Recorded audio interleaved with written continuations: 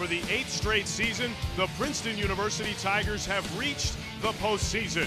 Tonight, the WNIT, as they host the Big East foe, the Wildcats of Villanova, tonight on the Ivy League Digital Network.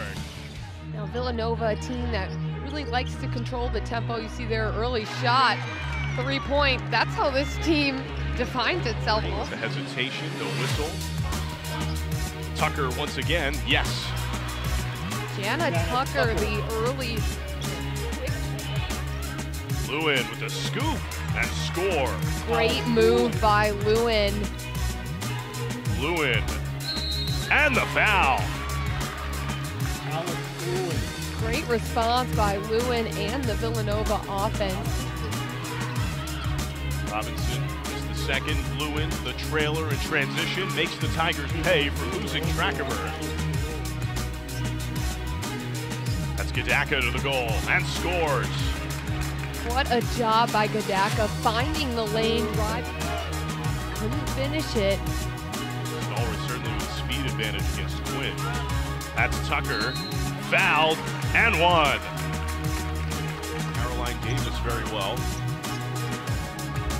Louin to the goal, scored it. Jekot the other way. Hahn wide open for three, cans it for Villanova. They break a long stretch without a make. There's Louin for Villanova. Senior Wilkes inside finds Louin and scores it. Tucker, a three. Yes! Villanova is moving on in the WNIT, a 59-53 win here at Jadwin Gymnasium. They'll take on the winner of Drexel and Duquesne. March Madness continues today for Villanova women's basketball.